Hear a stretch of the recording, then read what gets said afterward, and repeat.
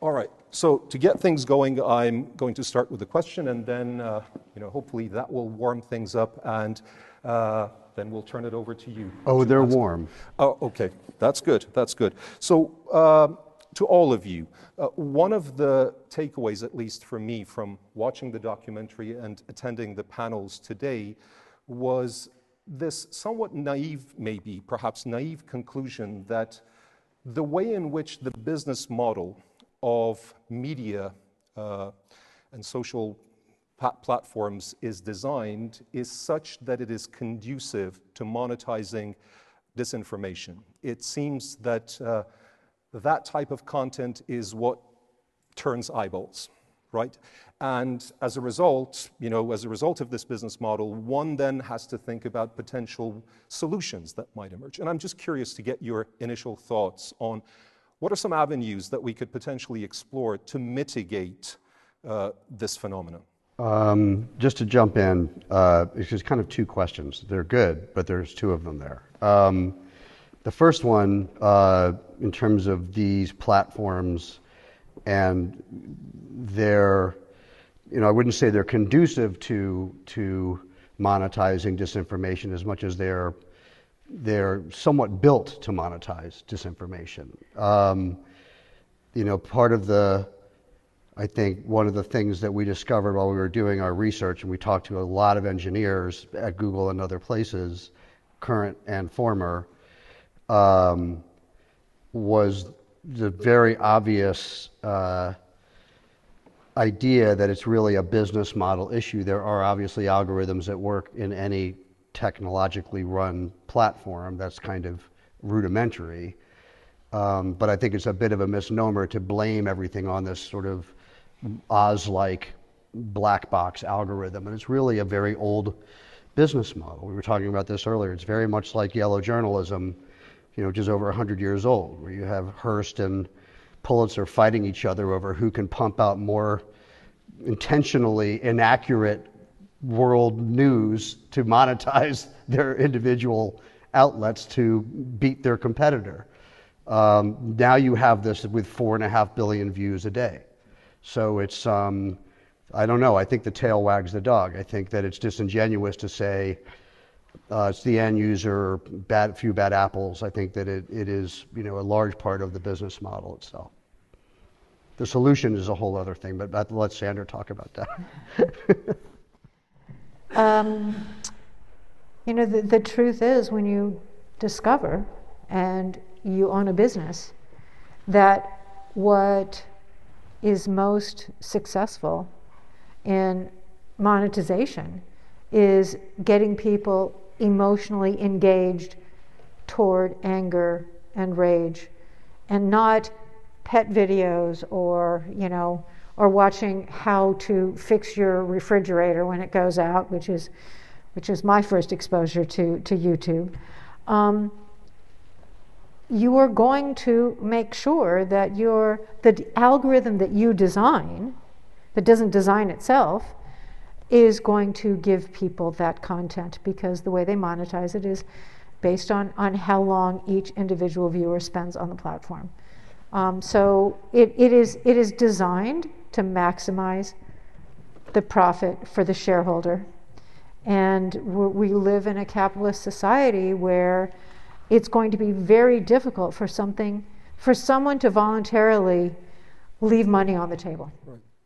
And just as a follow up on that, given that, uh, uh, given what we know uh, from academic research specifically over the past couple of years, the emergence of socially responsible investors. Do you see a potential role that shareholders or major blockholders in these uh, in these companies, their ultimate owners, what responsibility I mean, would I, they have? I think we're in a room of accountants, and I think they're probably better equipped to answer that. But I would say that the activist shareholders who want to maximize shareholder value are the ones that generally replace the boards and CEOs, not the other way around. I, I, I, defer to those of you who study these things, but, but I believe that the activists who are maximizing shareholder value. There, there, there's also a lot of mechanisms in place in any business to protect certain elements of that business, right? So you can have people within a, a business who are shielded or are willfully shielded from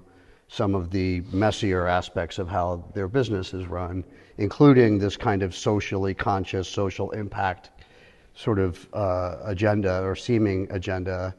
Um, but the reality of it is, is there's an enormous amount of work being done by all of these companies uh, through lobbying and through other very specific acts that take a great deal of money and time to prevent anyone from litigating or legislating or regulating or even looking under the hood and having any transparency about what is actually going on. And that uh, precludes the, the, you know, the ability to call someone out for that kind of behavior. There's so many layers before you get to what's actually going on. And that was one of the things that we wanted to just kind of continue. That's the thing I like about film is, is it can be relentless. Like you can just keep explaining the thing and showing it and showing it and showing it by way of characters.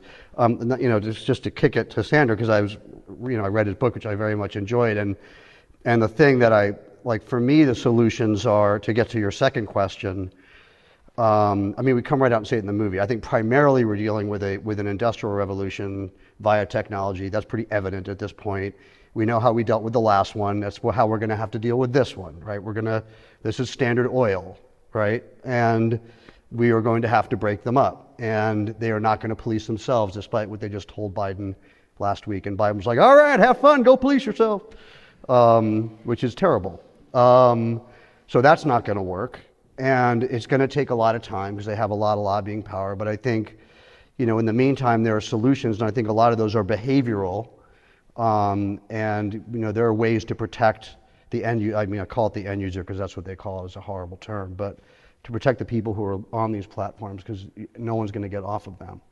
Um, there are things that can be done, but I think that the long-term goal is to to treat these companies as as the monopolies that they are.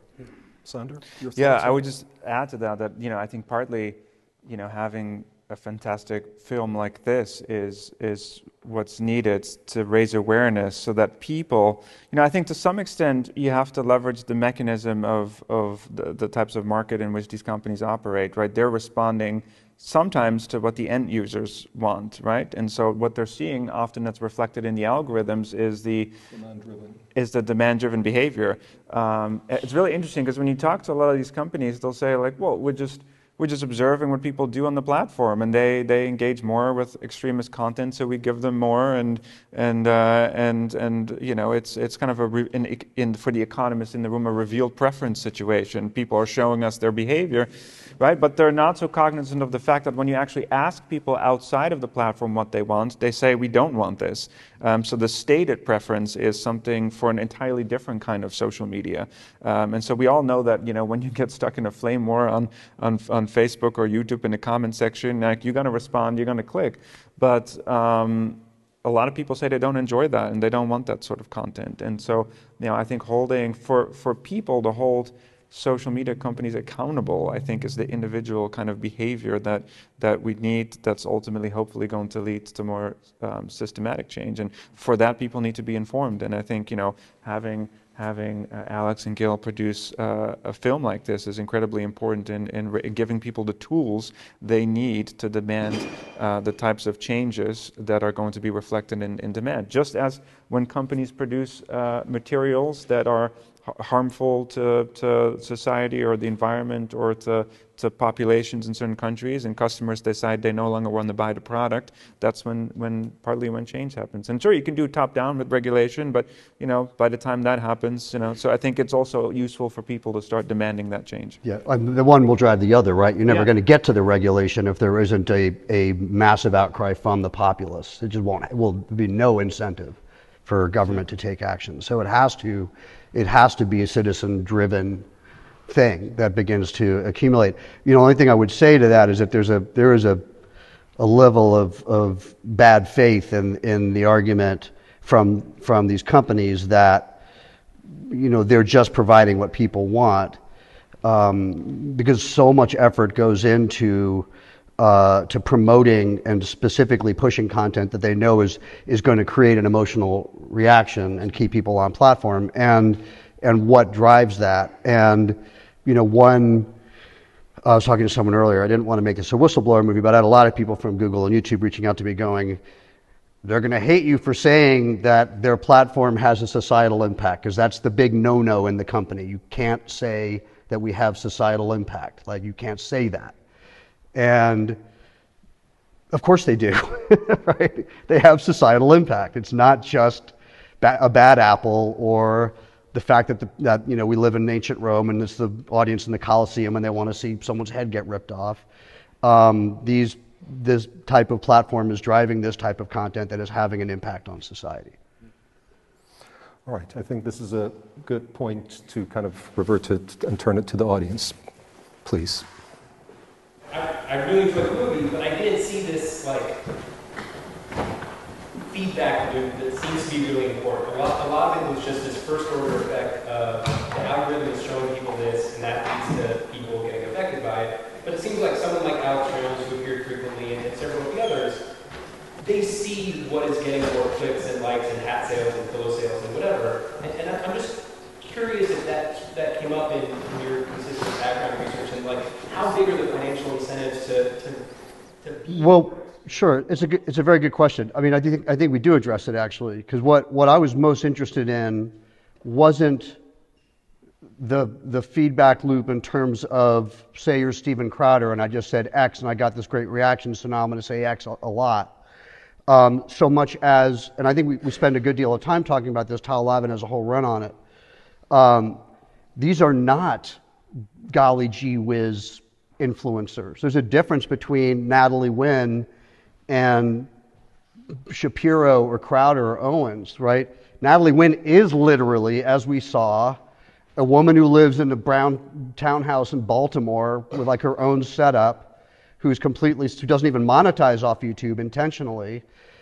These folks are like giant dark money, politically funded entities pretending to be golly gee whiz folks. There's a, there is a, there's a political ag- agenda at work in a lot of what's going on in terms of who's being monetized by and heavily funded by very politically motivated operatives. Jones was hugely useful to a lot of high powered entities, which is why he was able to grow to the degree that he did. Now the same can be said for Rogan. Crowder is still on YouTube, et cetera, et cetera. You know, there's a lot of money behind these people. Um, so I didn't want to misrep. I didn't. I was in I was a little concerned because it's a big thread of a big sweater, that, what you're raising, right? And you could make a whole movie just about influencers really easily. Um, but I think we did a pretty good job of explaining what I think is the, what matters here, which is the sort of deception that on the one hand you have Google that may not have a political agenda necessarily, but certainly a monetary agenda. And on the other side you have, this is bad marriage, right? You have these very very ideologically driven, dark money funded influencers that aren't really influencers, they're really political ideologues. And those two are working together with an algorithm like lightning, like, you know, like gasoline on a fire. And I think that is really the bigger issue for me. Um, it's not to d- discount what you're saying, because I there's a lot, of, like, I, I could have spent the whole movie talking about just children and the lack of regulation and you know, there's so many different things going on. But I think the idea of that interplay between, because that's what got us to January 6th, which was very intentional. And that was a win for that side. And they drove it and they drove it and they drove it till they got there. Um, that to me is where the danger lies in that marriage, more so than just, you know, like an influencer who's like, oh, I'm going to do more of this stuff because it gets me more eyeballs. I hope that's clear, but that was, that was the thinking anyway. Thanks for the great movie. It was really interesting to watch. I'm a foreign, I was a journalist. I'm now working for public broadcaster management. So two questions. I understood that the next step in one way or another will be regulation. So what is the most specific thing when it comes to regulation that is literally around the corner or that we, you know, what could be the next thing in regulation? I know it seems to be far away, but what is the most specific thing and where could it happen next? So where will we see a big step? Well, antitrust would be the would be the long term antitrust would be the long term goal. Okay. And my next question, combined with it, I, I, guess it's a certain way of censorship or a certain way of you know blocking videos that are bad. Yes or no? I mean, it's been done before. The, the, the issue becomes what is free speech, what is hate speech, what's protected speech. And, you know, I, I, there was a fantastic session today which essentially talked about how each jurisdiction, each country, the European Union, the UK, the US, all have different rules. Um, and, um, and I do believe that it's unlikely to start in the US. I think it is far more likely to start in the UK or the EU, probably the EU. And, um, and at that point, the platforms will have a really difficult time saying they can't do something. Um, they have, for many, many years, said they can't take down certain things, that they don't have the technological capability to do it. You know, they didn't want to take down child porn. They were saying that that was a slippery slope. And, um, you know, so, so really, I, I, I do believe it's likely to start in the EU and then and then hopefully there will be enough political will.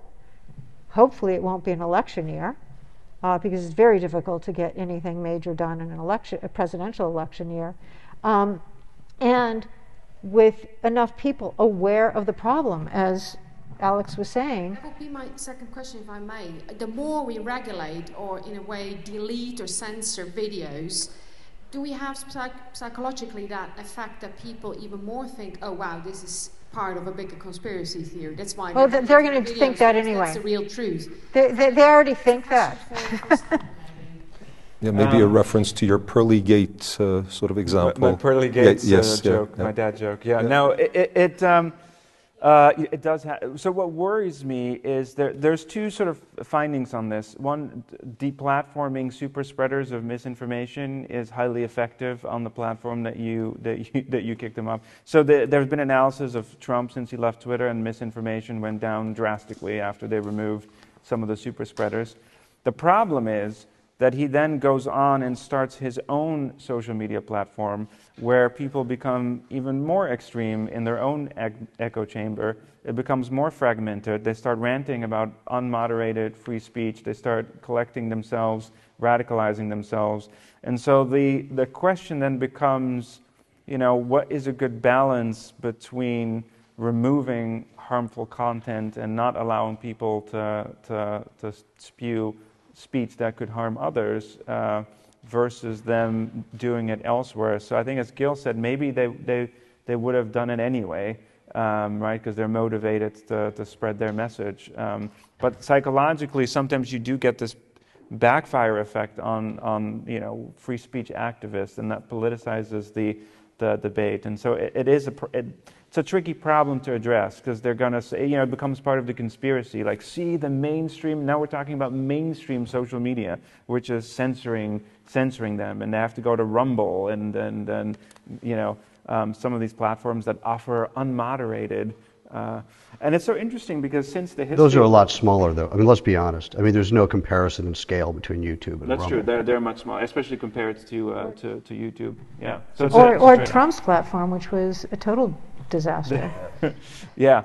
Uh, yeah, I think Truth Social is ranked uh, is ranked pretty low amongst the. Uh, I think Rumble is probably the biggest, uh, but comparatively, they're they're they're fairly small. So I think it's you know it's uh, yeah it's a it's a trade off. But there's I, I mean I would just say though that that I don't think that's the solution anyway. Like I don't think I mean I think I don't think that that what the the outcry that's valid is right now is primarily about censorship.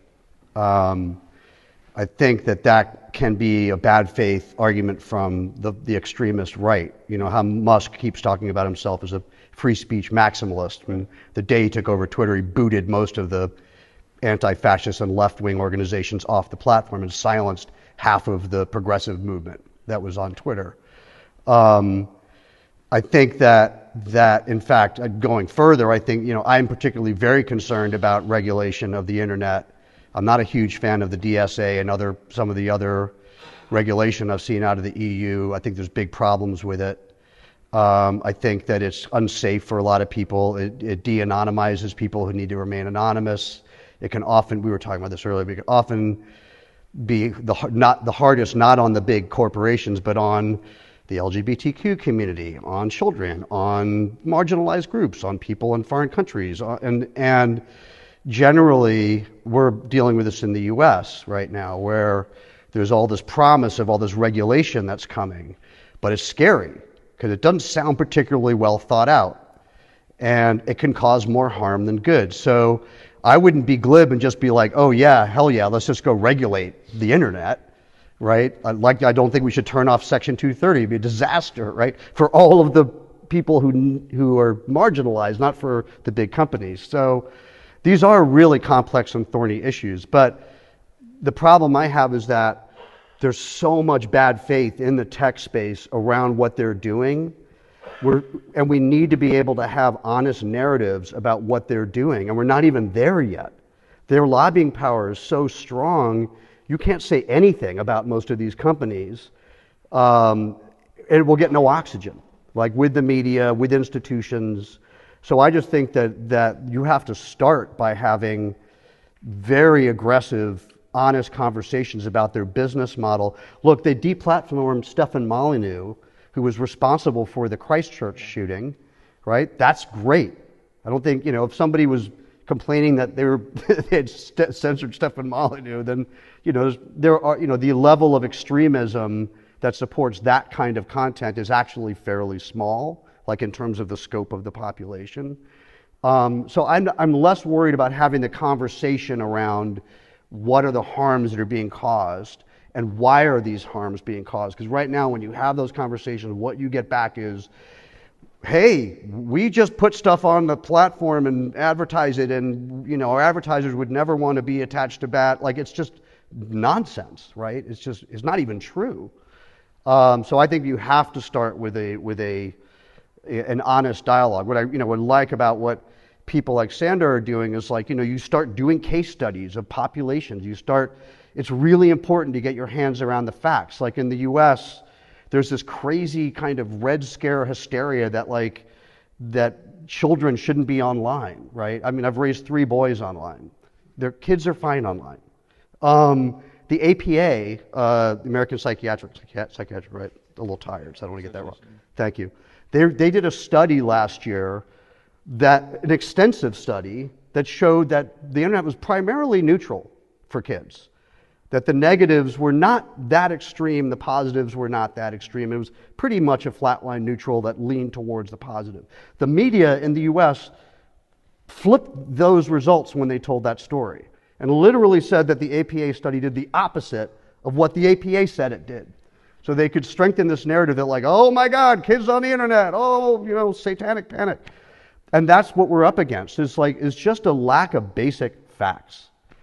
And so I think that's where you got to start. I think doing real case studies, getting your arms around what the harms are, calling these tech companies out about what they're doing, then you begin to get then to you know wind all the way back to your question, which is kind of the question. The best way to deal with this is going to reveal itself in many, many ways, uh, and I don't think it means a shackling or a censoring of the internet in a meaningful way at the end of the day. Yep. Uh, Jenny? Jenny? Uh, a microphone back there also. No, was, you took his mic away. No. That's censorship. Deep platform. well, thank you for taking my question. Uh, first of all, great film. I learned so much from the film. Um, I having a you know having a three-year-old, I was deeply concerned after seeing that footage about the um, um, really unsavory um, films being marketed to children. But coming they're gone now. But Harry's yeah. earlier um, question about incentives, so I can see and understand political groups funding extreme videos, but these kind of really, to me, grotesque uh, videos that encourage children to kill themselves.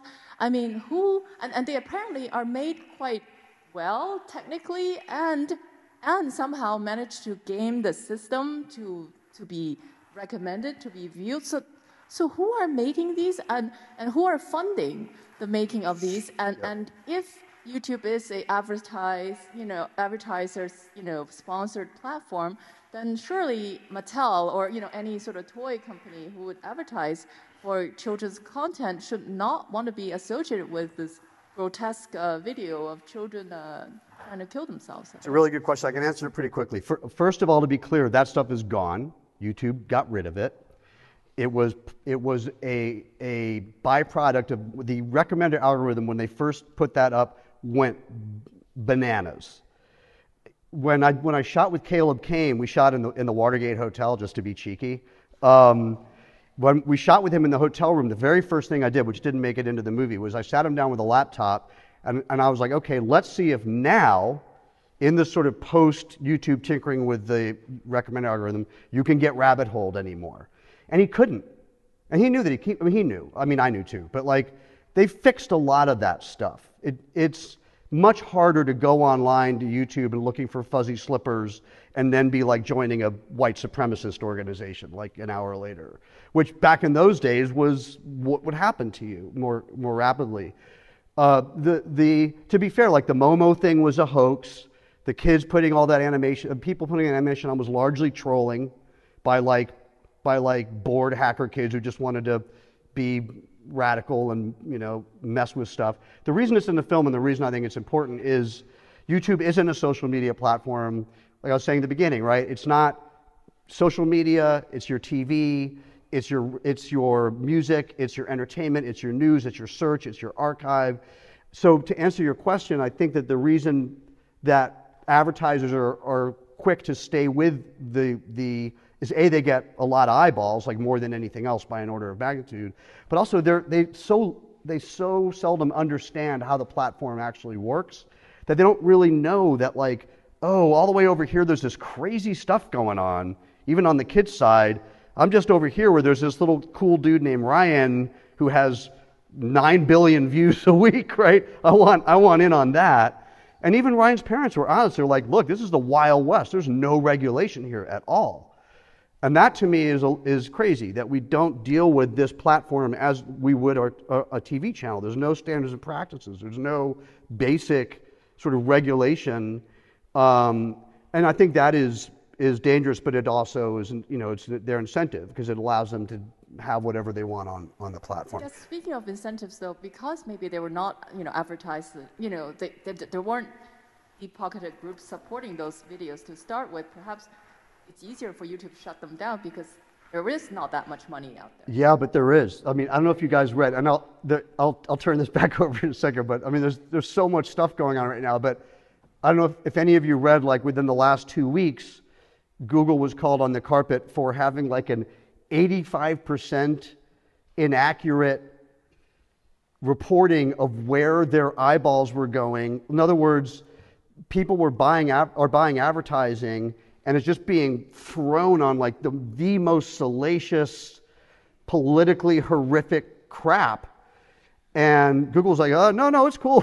but the, but it's all data, so you can, you can metric this stuff really easily. And it was some ridiculous number, like 80 or 85% of, of, of a rerouting of, of this ad money going into content that they knew was going to get lots of eyeballs, but was often pretty garbagey and not what some of these advertisers wanted to have their, their names associated with. So, yeah. So we should give it back to. I'm fighting for the guy who had the mic taken away. you have been replatformed, sir. Yeah, yeah. Thanks. Yeah, no, I just want to, I mean, this is great. Superb movie, great discussion. And I just want to link this whole concern about censorship to what you're talking about. Uh, when you mentioned the algorithms and how easily they're, they're being fixed. And the reason I think we have to draw the connection is that what the free speech fundamentalists like you know Musk are, are trying to make us think is that there is no information management at the moment on the internet and that it is free. Well, it's not. It is under corporate control. Right. And so the issue is not one of introducing censorship. The issue is of whether content management should be in the hands of private corporations yep. that are driven by profit or under public control. And I would suggest that if 30 years ago somebody had said in any Western democracy, oh, I'm going to design a machine that dictates the information diet of all our publics by 10 people in Silicon Valley who are making money out of showing you dreadful stuff, you know, people would have thought I was barking mad to even propose that. And it is only because of the evolution of the technology that we are where we are. But I think it's important to realize that and to sort of step back from this and say, whoa, you know, this is not something any democracy would have designed. And I think that's. Yeah, Natalie Wood makes the point very clearly in the movie, which I find myself saying every flipping day. It's just like it's it's not about the First Amendment if you're dealing with a private corporation. A private corporation can do whatever the hell it wants with what is on its, con- on its platform. It's, it's just a bad faith. I mean, it's either you're either confused or it's a bad faith argument. But that, I mean, that was Musk's. Musk kept saying, "Oh, Twitter's the town square. It's the town square." I mean, he's a clod in many ways, but he's not stupid, right? And he took control of that thing and immediately started harnessing who got to talk and who didn't get to talk because he's well aware that it's a private company that he now controls. And he controls the flow of speech on that company. He also said it's, it's you know, bad to influence people. And then the next tweet was that we should all vote for the conservative Republican Party. Yeah. Uh, um, yeah, and to replatform people that were causing harms.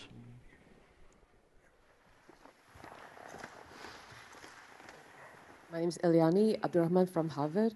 I just want to build on what you said earlier, sir, um, and I completely agree. I think that one of the things that we also need to look at is not just the companies in their own individual capacities, but also what's happening in terms of extremists. For example, 4chan and 8chan, you have extremists using 4chan or 8chan as a playground, and they egg on each other and learn from each other, and then they move to the mainstream media. So, for example, when I was being harassed, indirectly harassed by Elon Musk, and I got the FBI involved in my case, you know, the question really was to ask, I, I can't see what's happening on, Bright, on Breitbart or 4chan, 8chan that needs to be monitored and needs to be looked at because this harassment actually sometimes can be coordinated or, or it could be organic. I think in my case, I think it was organic. But a lot of the cases are actually coordinated. And so, how is this spillover happening? And I'll give you a concrete example because my specialty is actually online child, child safety. So this guy called MiniLadd on, on YouTube, so he does all these Minecraft videos. So he actually confessed on Twitter that he uh, was sexting and grooming children. And, and he goes by Craig Thompson, it's actually his real name. So there was a huge Twitter storm, and he left the platform. But then he did come back to YouTube, and started, and still, because there's this question that keeps on going every day, uh, that keeps on going in this conference you are monetizing the information, uh, the stuff that you get from the audience. If you leave one platform, you can still go on to Parler or Breitbart or other places and YouTube and still monetize your content. That's what he continued to do. So as soon as I got information, I, I you know, told people whose, whose sons I know were playing with Minecraft because this guy did say, I'm a pedophile and I will monetize my stuff and, and get your kids' attention on Minecraft. And that to me is very disturbing because we need to look at this cross-platform migration work and that's not really being addressed. Yeah. Thoughts? Any, any thoughts on this? Yeah, Sander, do you want to, before I jump in? I am happy to. No, feel free to okay. kick it off. Um, I mean, I do think that it's, it's being, it's much more known publicly now than it was, you know, back in the Gamergate days, which I think is really when that became the most evident public facing example of harassment, mostly targeted at women um, via different channels that all congregated together and, and unified. Um, and I think that that again, not to draw it all back to politics, but you know, the the GamerGate was really latched onto by Bannon and other entities on the right who realized that they could weaponize these fragmented communities and unify them across platforms. And that was a big part of how we got to, to January 6th. And uh, I think that that's one of my biggest fears moving into the next election cycle is this weaponization, this cross platform weaponization. Like, I've got a, well, all three of my boys were huge Minecraft guys, right? All of them. And so that was really, to your point, where I really watched my kids was Twitch, Discord. That's where I was most nervous about where about who they were talking to, um, what who was on their servers. My son would be like, "Oh no, it's a private server. We built it." I'm like, "Okay, who's on it?" Right? Well, this is Zeb99. I'm like, "Who is that?" It's like, "I don't know." You know, but it's a private server, right? So I mean, that's that is that is volatile. Um, but I do think that there are people like Carrie Goldberg. You know, there are people in child protective services. There are people in law enforcement that are doing a really good job with this stuff right now. Um, but certainly, that's probably the area I'm most nervous about moving in to 2020, you know, the back end of this year and into 2024 in the election cycle when the gloves get off and everyone that that side wants to they want to activate that base as much as they can because that's how they will do it. And how YouTube comes into this, which we talk a little bit about in the film, but again, it's a it's a its own movie. Is a lot of that happens in the comments section in YouTube. So YouTube's social media component, weirdly, is its comment section. Like that's where people will congregate and where a lot of the harassment will occur and the targeting will occur and the death threats will occur. And that moves all over the place. That's like Reddit, 4chan, 8chan, YouTube. That's like this sort of moving troll swarm. Um, you know this because you encountered it. Um, and there is a way to, to, you know, the upside to the internet is that it's, it's data. This is the problem we're dealing with in the labor strike right now in Hollywood. Is like the, you know, Netflix, everyone's like, oh, we can't really show you the numbers. I'm like, unlike any time in history, you could actually show us the numbers, right? like, like, you know who's watching what show for how long, where, but you could literally geotag them and you could show me like their living room.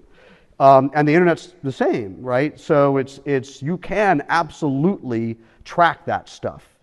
Um, and I think, you know, to the credit of, of some folks in law and law enforcement, they're doing that. But I, I don't think, I agree that I do not think they're doing that enough. And I do worry about the next big violent cataclysm like J6 or the like um, that comes as a result of that kind of, of community organizing. Because it is being intentionally weaponized now, for yeah. sure. Yeah, just to briefly add, so I think this cross platform. Uh, synergy is, is actually and and uh, networking to some extent and, and, the linking across different platforms to leverage influence is actually really uh, underappreciated. So you know in my area where we try to quantify the influence of disinformation on the individual, uh, I think that to some extent my worry is that we actually hugely you know, some people are like, oh, fake news, you know, and, and so, you know, what is it really, what is it really doing, and so on. And I think to some extent we're, we're massively underestimating the influence of disinformation on people because most of the research is done only on the apps that have even limited publicly available data that can be scraped to quantify, right? Um, YouTube actually does not release any of its behavioral data of what we don't know. You, know, you can say, oh, f- fake news, Twitter, this and that, but we don't know what the thousands of hours that people are watching on YouTube, how that's impacting the individual, what they're doing on, on Instagram, on Reddit, on Parler, on cable TV. Um, it's actually very difficult to try to create a comprehensive estimate of all the disinformation across all the platforms somebody receives. And if you don't have a good, if it's not transparent, then predicting things like the Capitol riot, when there's an uptick, when different platforms are mobilizing people, that becomes actually quite quite difficult. Um, and so, especially YouTube has been very untransparent uh, in terms of you know its data. Similar to, to Netflix, right? They have the data. And when you talk to the companies, they'll say, "Well, there are privacy issues, so we don't look at it, or we don't have the manpower to actually do that because it would take huge amounts of manpower or to calculate." Corporate, or they'll be honest and say, "It's we don't want Apple to know what our numbers exactly, are. We don't want yeah, Amazon to know yeah. what our numbers right. are. Right. Our competitor will." Will attack us based on, you know, the general belief in Hollywood right now during the strike is that the streamers, nobody watches this stuff. Right? they basically just cratered the industry, and other than Succession, nobody really watched TV last year at all. Um, which is maybe an element of truth. But, um, but I think, I don't know how, and I wouldn't drag you into this publicly, but I don't know how you ended up dealing with your situation. But I've talked to a lot of people um, who, were, who were harassed um, to a, a grave degree. And it seems like one of the most effective ways of dealing with it is, is litigation, even on a small level, is literally suing every single person, every single technology platform involved. Now, you have to know you're probably not going to win. You're going to attract more hate, more death threats. You're putting yourself, I mean, it's like the Me Too era, right? Everyone's like, well, why didn't they come and talk earlier? And then as soon as they open their mouth, they're just completely abused all over again. Um, so that's not an easy place to go, but like the work Carrie Goldberg is doing and people like her in New York, where they're just like, no, we're literally just going to open a lawsuit, we're going to sue you, we're going to sue you, we're going to take you to court over and over and over again. Um, and the public does begin to get wind of the severity of the issue. But I'm not cavalier about people doing that because it is an extremely vulnerable and potentially dangerous position to put yourself in.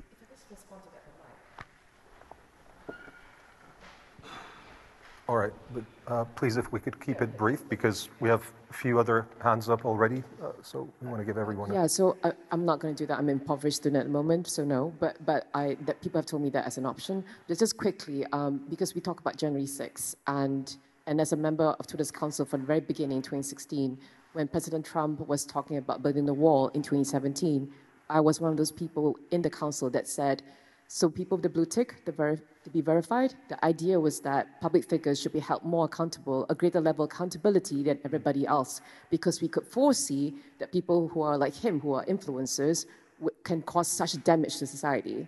And so when January 6 happened, we were not surprised, Yeah. but we were appalled. And I, I was ashamed that I had, did not resign then or before then. But, um, th- but I want to explain to the public what it actually meant, like what we were trying to do up to that point in time. It, it was just appalling. Yeah, well, it was unprecedented, so.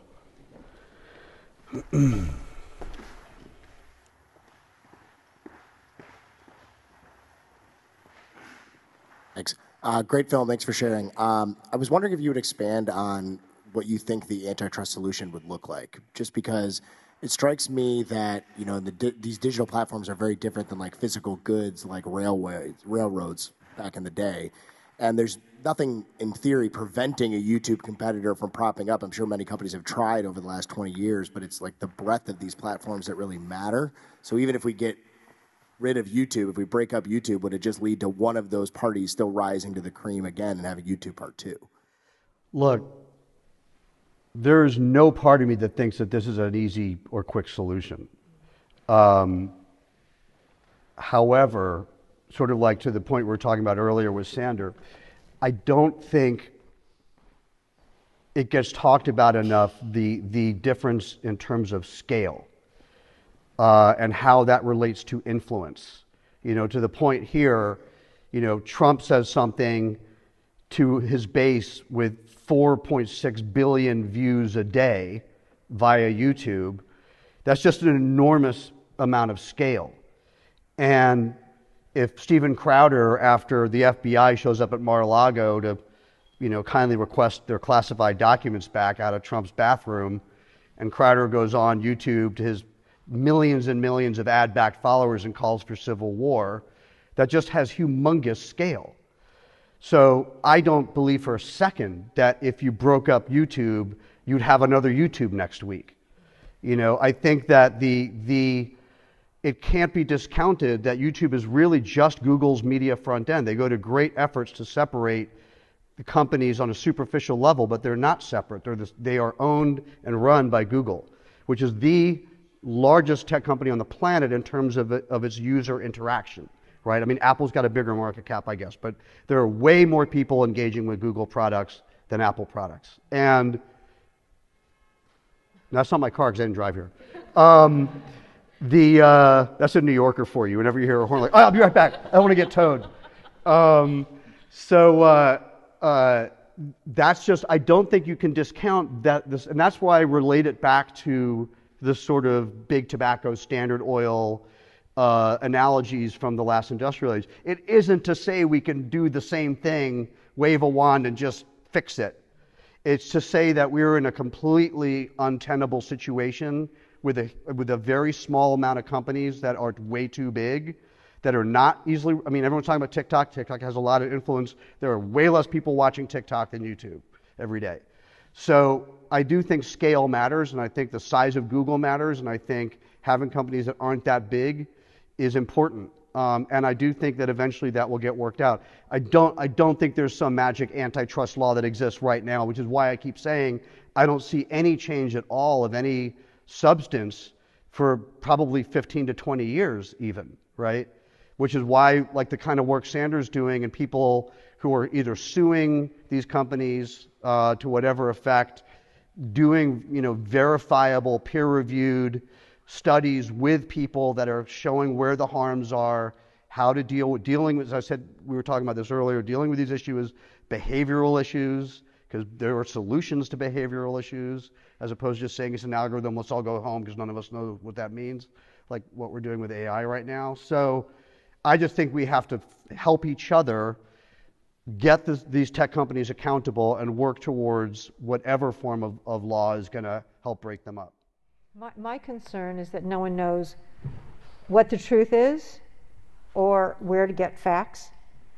And we're, because of so much misinformation, we're losing, the average person is losing trust in experts, they're losing trust in science, they're losing trust in, you know, anyone who doesn't already um, uh, propound what that particular person already believes. So they are, are simply looking for validation. And there have been many studies that have shown that, you know, people will read an article by an expert. And, you know, not every expert is right. Um, but, you know, they've spent a lot of time, like many of you in this room, studying something, doing the research, reading all sides, having data. And people will read the article, disagree with it, and then look at the comments to find someone who's just like them, who has no expertise at all, and they will not remember the article or what was in the article. They will then go and tell their friends that, and they will and they will opine about this comment from someone who has no expertise whatsoever. And I and I think. To me, that is one of the things, in addition to the violence, in addition to the divisiveness, it's that no one knows who to trust anymore. And um, you know, we, we've seen through the pandemic, we've seen through so many things um, that the average person really, they don't trust the news, they don't trust media, probably rightly. Um, but who is someone going to trust, and how do we, how do all of us regain trust? Um, because it, without something being flagged as misinformation or disinformation, it, it's a free for all. Though, yeah, I do think that, I mean, the, the sort of gallowsy, morbid way to, to progress is just more casualties, you know, is like, you know, what happened in, in England with, with Brexit, um, where sort of, you know, a disinfo campaign with a very specific agenda drove the country into an economic freefall. And in the US with Dobbs, uh, where women on both sides of the aisle found themselves without reproductive rights anymore. Um, so those kinds of that kind of bloodshed, um, either literal or economic, wakes a lot of people up. And uh, in the U.S., you know, the reason I'm even vaguely optimistic about our future, even though I think our short-term future is a little, kind of on the ropes at the moment, but um, is you know that Dobbs woke a lot of people up in the U.S. that were eating up a lot of a lot of really horrible. For those of you who don't know, it's the one that reversed Roe v. Wade. Yeah, I'm sure. Yeah, sorry, shorthand. I'm I'm a little tired. I'm jet lagged. Um, but uh, but you know, that did that shifted things in the U.S. because people who were like to Gale's point, sort of like at the barbecue with their friends, sort of spouting what they kind of maybe half heartedly knew was nonsense, woke up without reproductive rights. And, you know, our, our countries, they're not stopping. They're trying to push for much more draconian legislation, um, some of which will probably pass. So I think that you end up with the kind of, you know, I don't care about gay rights until my my son wants to get married to his boyfriend who I really like because he's a super nice guy, and suddenly I care about gay rights, which is basically what's happening in our country. I mean, it's, it's appalling, but um, that will drive change because facts are facts. And there are, you know, to the point about the censorship thing, there's a huge line between the, the things that are hard to know whether it's true or not and just the utter agenda ridden bullshit that people are accepting um, on a daily basis that will cause them harm. And I think, okay, well, if you're going to have harm caused to you, then that might wake you up a little bit. Question here. Um, well, I work at a research center um, that has been discussing antitrust and big tech since about 2017. So, um, a few questions.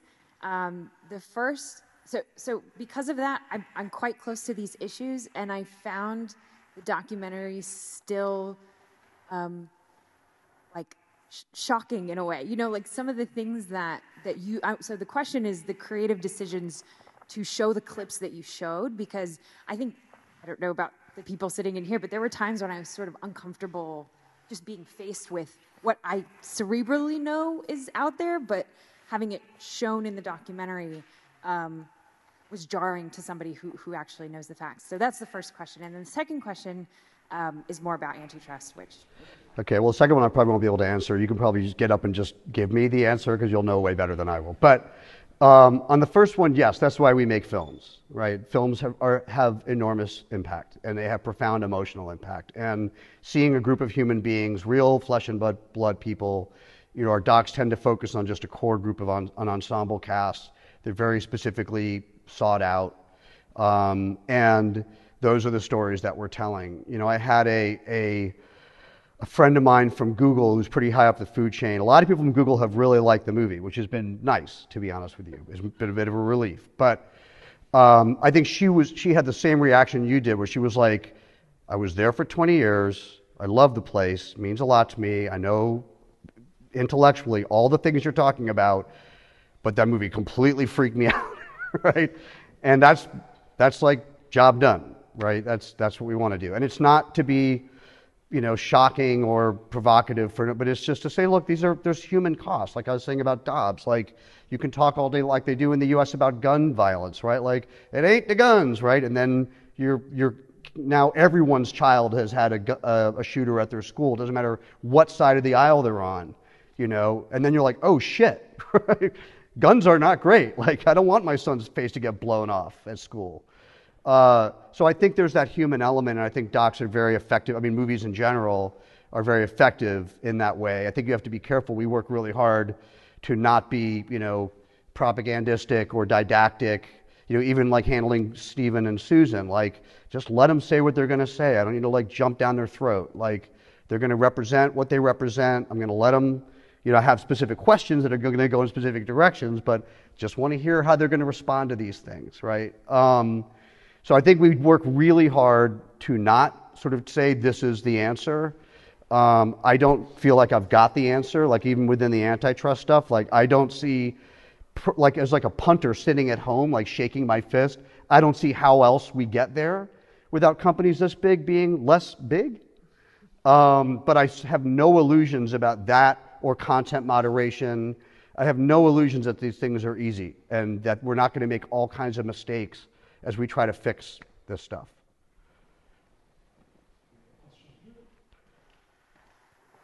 And then one question in the back. We have time for one or two more questions before we can sort of bring the session to the end. Uh, do you have the, yeah, do you have the microphone? I think someone else has it. Yeah, we can take the two Go ahead. together. So it's um, I have a question on the behavioral aspect. How can we change it? If from a regulations perspective, it's hard to change. You know, antitrust is 15, 20 years down the line. Like I, I was just like from a, I did the experiment because I was a bit fed up with the YouTube um, feed I was getting, and I just deleted my historical feed, and then I was like, I had to remember, okay, this was the YouTuber I like to follow or not. But if you ask viewers every six months, do you want still to be on the same historical feed for your recommended viewing? Like, would that kind of deprogram the viewers themselves? At least they have to remember what they want to be, what they what would be, what content they want to face. Sander, you want to? It seems to be easy, so why isn't it done? Uh, yeah, I mean, it's interesting. I mean, there are certain features like this. So Instagram does experiment with uh, uh, asking people if they're still enjoying uh, the content that they're experiencing, kind of like Netflix. I'm not sure if I'm, the, get the, if I'm the only one who gets these warnings about you, do you still want to continue watching? Um, and so, you know, that, that's the, they are experimenting with these things, like, oh, you've been in this echo chamber for quite a while now. Are you, do you still want to continue? So they do prompt people. But you know, there's a concern that people get desensitized to, to these prompts, um, and they're not done consistently. They're kind of experimenting with, with that to, to try to take in other signals than just the observed behavior. So they're trying to ask people sort of in the moment to try to use that as an additional signal. Um, but I think there's also a lack of awareness about how the algorithms work. I mean, lots of people on Twitter don't know that you can flip back between what's recommended for you uh, versus your actual following. And sometimes I even I ask myself, why am I getting this shit? Um, and it's sort of like, yeah, and it's I've like, been oh, on oh. it for like 12 years. I still forget. Uh, so because oh yeah, they Yeah. flipped me back to the uh, to the algorithm. Yeah. And so Why am I looking at Catturd's tweets? Look what Cat- happened. exactly. Cat well, cat turds everywhere. Yeah. And so he's promoted by Musk, and so the, and this is um, so yeah. I would say you know that that is definitely something to explore. But I think we, you know they need more uh, serious behavioral solutions. One thing we've been wondering and, and talking to them about is this idea of, of a credibility index. Uh, and you know you don't want to put it all on the end user, but to some extent the incentive needs to be so that what they're incentivizing is not extremist uh, misinformation. They want to incentivize accurate content that helps people build credible, trustworthy reputations with their social media accounts. Um, so people do care about their reputation, and we know people care about incentives. I mean, there are going to be people who are going to be complaining about the score and disregarding it and so on. But uh, maybe on the whole, it would be an interesting idea to attach credibility meters to, to, to people's accounts. And the input for that could be, I don't know, you could have 50 different independent fact checkers to satisfy everyone's concerns about, you know, what's, uh, who's determining credibility. Because that's the question social media companies will ask. So, okay, we can do that, but then who, who determines what is credible, what is toxic, what is polarizing? And it's like, well, I, I think we can reach some objective level consensus of what that means, uh, and people can have can have credibility um, scores. Um, but I, you'll you'll be surprised. This is the last thing I'll say. You know, we together with Steve sitting over here, we've done videos for for YouTube that pre-bunk harmful content, um, and it took years and lots of lawyers uh, to test that. And uh, th- the thing is, though, it's such an easy lift for them to make this mandatory in the ad space uh, uh, and, and scale it across billions of people because it doesn't requ- require them to change their business model. So the downside of, of sometimes, and we talk about this all the time, is the downside of these individual level solutions can be we don't want to disincentivize them to,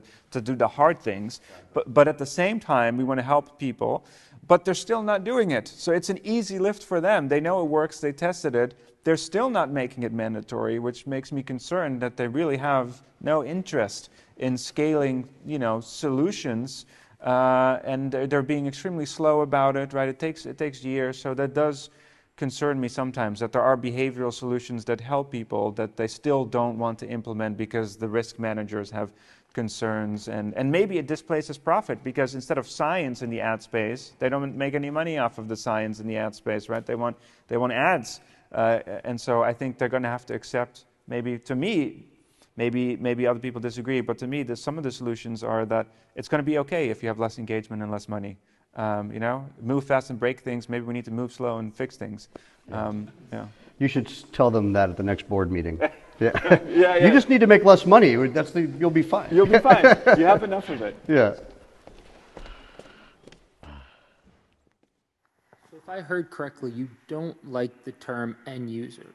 What would you replace the term end user with? And do you believe that that term has had an impact on how people view their role on social platforms? That what did? The, the term end user. It sounded like at the beginning you said you didn't like the term end user. Yeah, no, I just didn't. I didn't want to. Did, didn't want to. De, it's a dehumanizing term. I don't mind it as a technical term. It's it's accurate. Like I, there's, I don't mind algorithms. There there are such things as algorithms. Um, I was just in the context that I was describing it.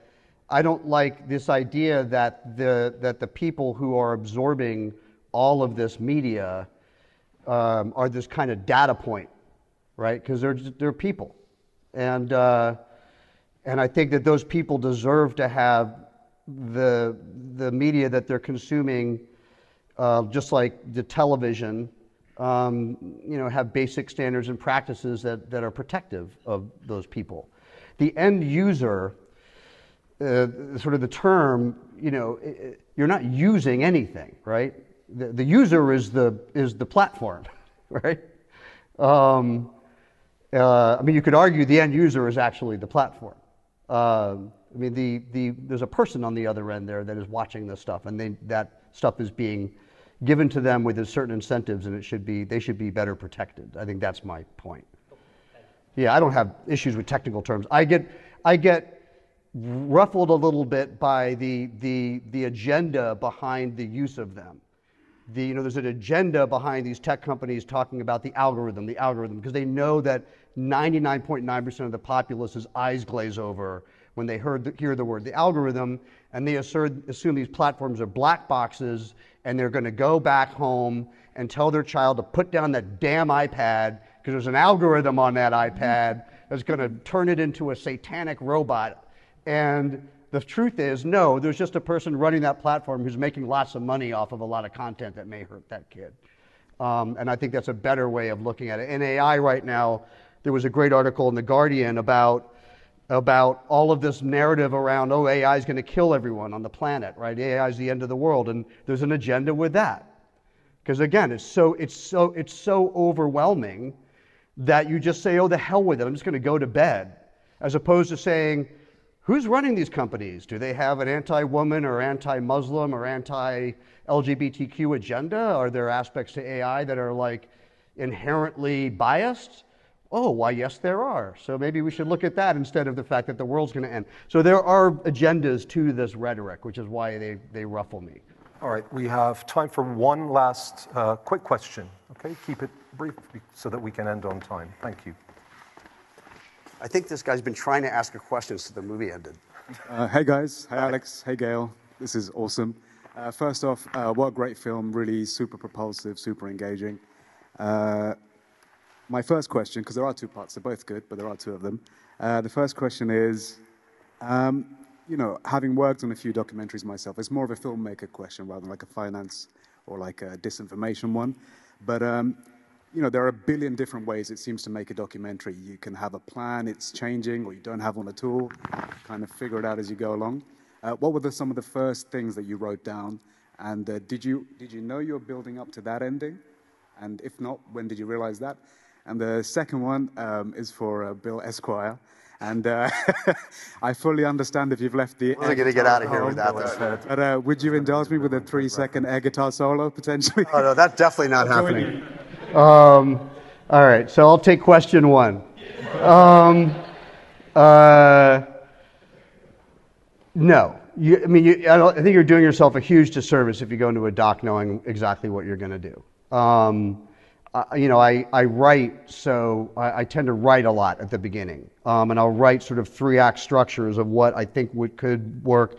And gener, genu- generally, why I do that is so that because docs are made or the way we make them anyway at my company is is everything goes at once editorial production meaning the shoot and research so my research department's filling drives with media while my editor's starting to build timelines out of the media while i'm going out into the field to shoot so i have to have some kind of framework like where are we going like what's our act one what's our act two act three knowing it's, it's going to change um, I think, as we said at the beginning, what happened here was we were shooting clean through the, you know, the, the end of the election, COVID, insanity, QAnon, crazy, like that began to, and also we were finding things out. Someone from Bellingcat is here. Like once we found out, once we got the results of that Bellingcat study, which I kind of, I kind of had a hunch this was the case, but to see in hard data that YouTube had had a larger impact on influencing the insurrectionists of the January 6 attack than any other platform,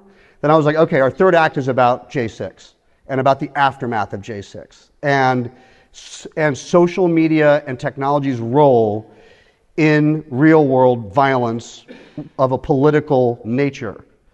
It's not just random violence. It's, it, is, it is ideologically funded, driven, coordinated violence using a monetizable platform with billions of eyeballs to get a certain result. Once we saw the, the numbers just in black and white from a verifiable source like Bellingcat, our whole back end shifted in terms of what we were doing and even who we were talking to. Um, because it became about verifying that and then communicating that. Because that's really, I think, that's really, from a narrative standpoint, that's kind of where everything goes. There, there was an intention that hopefully everyone noticed, to make sure that YouTube was able to weigh in on these things. Um, there are there are other documentarians who really want to just they have an agenda, they know what their agenda is going in, and and essentially they they want to um, they want to disregard everything else. And we felt it was very important since the intention of the documentary was to show YouTube starting with, you know, with people wanting to create like a better version of Hot or Not, and ending up with the most significant media platform um, in the world today. How did that happen? And what are the aspects that have benefited? I'm like, you know, like Natalie Wynn is is one. There, you know, there are others. Um, and um, and then and then along the way, what happened? Um, and to let people draw their own conclusions at the end. It, it's not like we wrap everything up and say, okay, this is the summary, this is what needs to be done. Because the truth is, it, there's no way that we know. It's too early. I mean, that's sort of how we end And- it, right? It's, yes. too, it's too early to know And all the solutions. of you are working concretely. on that. Yeah. Um, and and we really, you know, people say to, to us, "What's your call to action?" Like every documentary needs to have a call to action. Well, it is sunlight's the best disinfectant. So let's at least make people aware of what's going on, and then people smarter and better equipped than us can come up with solutions. Yeah, and also you get engaged by questions, right? I think that that's that's the power of documentaries. I think that you want to raise, like I said at the intro, like I had a fundamental question going in. Now I've got more questions. That's good. That's a good thing, right? Um, when the audience walks out with, with a lot of questions, I think that's that's good, and they've been activated, and they've been not like you have the power to self empower them, but you have like the respect of your audience to self empower them, right? Like, go forth, do your thing. You know, this is another narrative to now add to your your world of narratives that you can hopefully deal with. And because I've done so many politically oriented docs and, and that often have these kind of conundrumy issues, like the Panama Papers one we did, where where you know, 700 journalists around the world uncovering the biggest, you know, flow of, of secret money on the planet that connects Assad and Putin and our government and your government all together. And everyone was like, well, you know, you made this movie, but like, now what, right? Well, that was like, now what is like, I'm going to throw that back to you, right? Like, now what? Now what are we going to do? So um, I think that's kind of a big motivator because I think there is huge power in in you know the civic populace is really where the power is. And like to answer all these questions about antitrust or sort of where this is going like these are the questions that we now have to work out. And we've got to get ourselves into positions of power within government and law to be able to enact these changes. I can tell you from having to spoke, spoken to many people within our government many of whom i like and are very very smart they do not understand the shit at all like at all at all and then there's huge lobbying power, so they're incentivized to not understand it. But boy, do they not understand it. So, like, we need a whole new generation of people to come up and in who absolutely understand how these things work that can begin to uh, come up with solutions. All right, I believe we're out of time. Uh, I'd like to thank Alex, Gale, and Sander again, and thank you all for being Thank such all a of you. brilliant Yeah. audience. Thank you so much.